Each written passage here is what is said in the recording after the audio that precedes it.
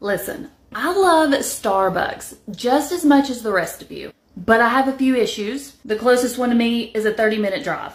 I'm a type 1 diabetic on a low carb lifestyle, so what if for some reason they accidentally messed up my order? Did I mention I'm frugal? So let's just make some Starbucks at home.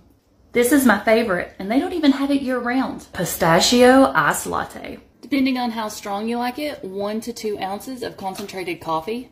I'm using cool brew, but you can also use half a cup of espresso. Six ounces of unsweetened almond milk. Your sugar-free syrup is gonna act as your sweetener and your flavor. Add as much as you want. I usually put in two tablespoons. Give it a quick stir and enjoy.